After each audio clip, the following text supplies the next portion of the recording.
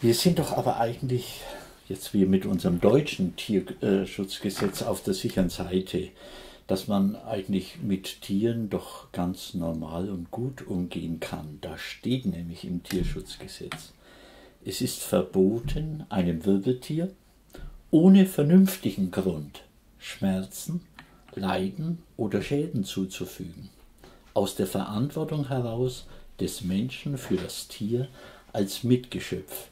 Also sind wir doch eigentlich auf der guten Seite. Mhm. Es müsste doch dann alles in Ordnung sein bei uns. Ist es aber nicht. Mhm.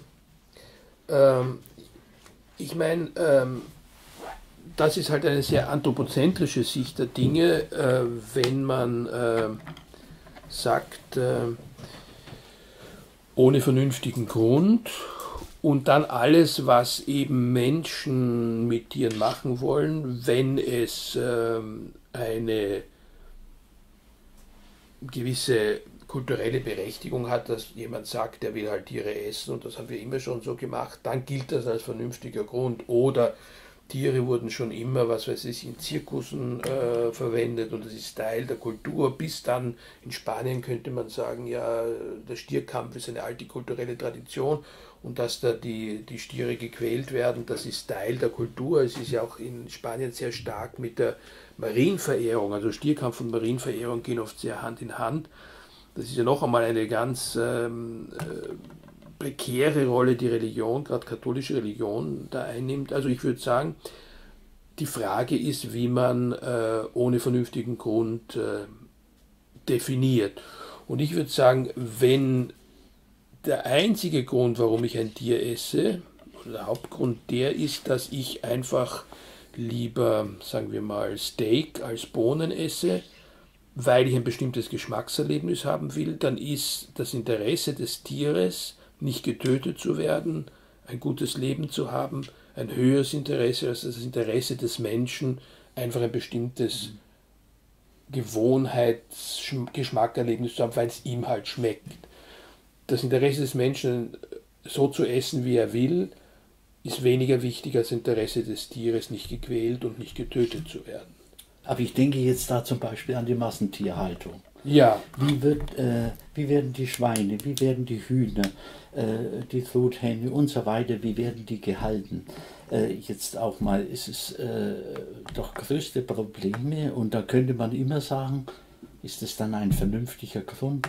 Oder dass die Tiere überhaupt keinen Auslauf äh, mehr mhm. haben. Wenn ich an äh, so viele mhm. äh, Hühner denke, auch äh, an äh, Schweine, die das eigentlich auch mhm. brauchen, mhm. auch Tiere, die das Sozialverhalten mhm. äh, auch brauchen untereinander. Mhm. Das ist nicht möglich, dann, wenn es um Mast geht. Und letzten Endes, man erlaubt dem Tier die Zukunft. Selbst dann, wenn es biologisch gehalten wird und man sagt so, jetzt ist es aus, vernünftiger Grund, ich habe Hunger, du wirst jetzt getötet. Richtig. Nicht nur ich habe Hunger, sondern ich, ich habe Lust auf Fleisch. Lust nicht? Auf Fleisch, ja, ja. ja. Ähm, ein ganz gutes Beispiel dafür ist, um, um da an diesen wichtigen Bemerkungen anzuschließen, in Österreich und auch in Deutschland hat man das jetzt noch aufgeschoben. In Österreich wird diskutiert die Frage der, der äh, Kastration von Ferkeln, Ferkelkastration. Nicht? In Ö äh, die Argumente in Österreich, es gibt jetzt in Österreich ein Tierschutzvolksbegehren, das das abschaffen will.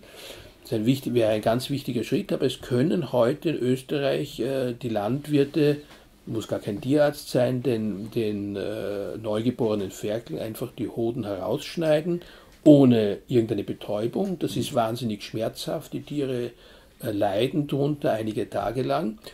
Und jetzt kann man sagen, äh, das ist einfach not, notwendig, wird, so wird es begründet. Erstens, weil die Leute halt kein Fleisch essen wollen, das einen Ebergeruch hat.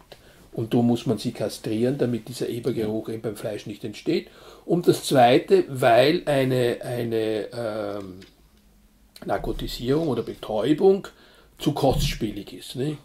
Das Argument, also es ist notwendig, ist, weil es sonst kost, zu kostspielig wäre oder weil die Leute das Fleisch nicht essen wollen. Wenn das eben Begründungen sind, dann, dann äh, weiß ich nicht, äh, was nicht Begründung sein kann, weil das einfach rein ökonomische Argumente sind oder rein, äh, Argumente, was die, die Menschen halt gern essen.